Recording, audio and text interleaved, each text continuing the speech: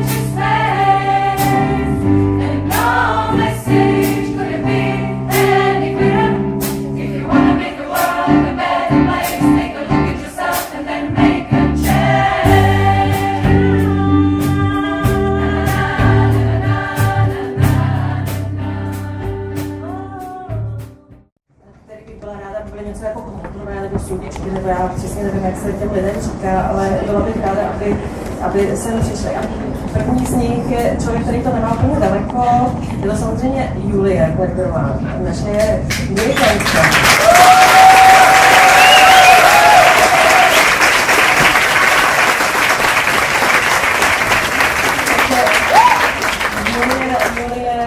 před 12-15 lety založila celou skoro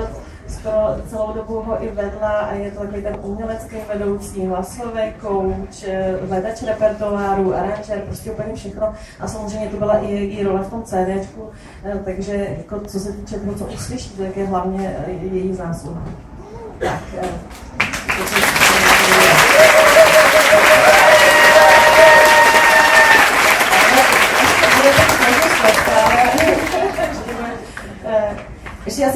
12 dny jsme, musím říct, si nebyl úplně jistý, jestli to nebude koncert a křes CD bez CDček, protože jsme byli v takové fázi, že se úplně nedařilo ho eh, uh, multifunkčních žen.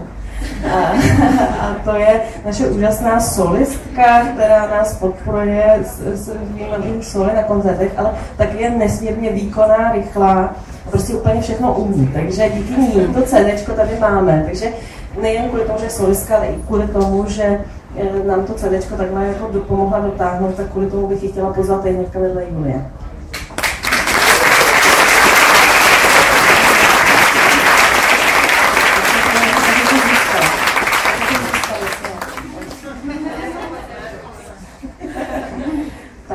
eh, my jsme vlastně amatérský spor. Já vím, že to skoro není poznat, protože jsme dobří.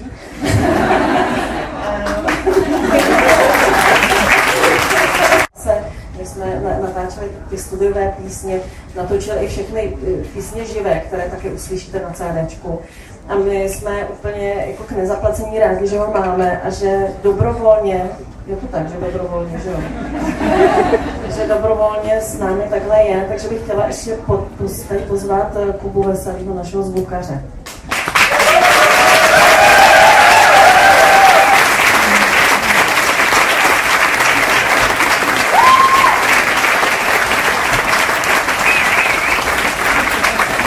Ten reálný křest, tak jsme si říkali, že by to právě měla být nějaká osoba, která to jako nějak propojuje, tu, tu podporu vaši, kterou nám dáváte. A vybrali jsme jednoho člověka, který si myslel, že nám tu podporu, nebo víme, že nám tu podporu dává opravdu nejdíl, protože s námi úplně od začátku, chodí na všechny koncerty, chválí nás, když je potřeba, tak nás i trošku skritizuje, aby jsme se ho měli posunout dál. Libě nese po Vltavě třeba až do Pražského hradu. Případně i dál do Mělníka. Ať máte za druhý častější koncerty a plné kostely a kluby nejen v adventním a vánočním čase. Třetí přání je největší, to můžete splnit. Abyste mi teď zaspívali a zahráli moji nejoblíbenější z vašeho repertoáru. Pulesiko od pana Zimmermana alias Boba Dylena. Šlo by to? Jenom když se přidáte, jak samozřejmě. Děkujeme. A budeme pokračovat,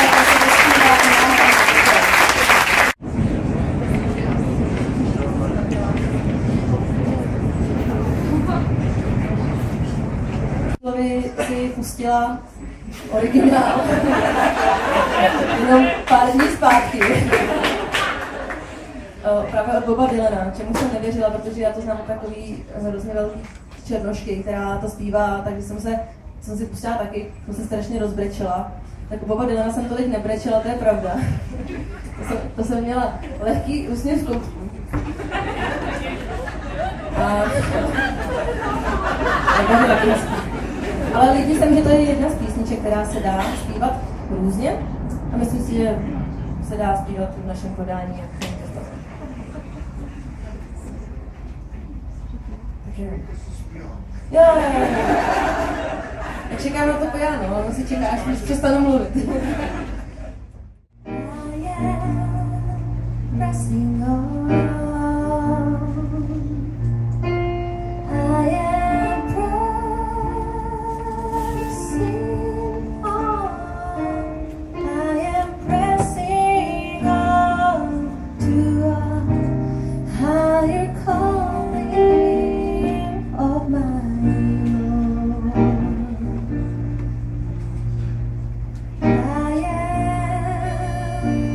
see you.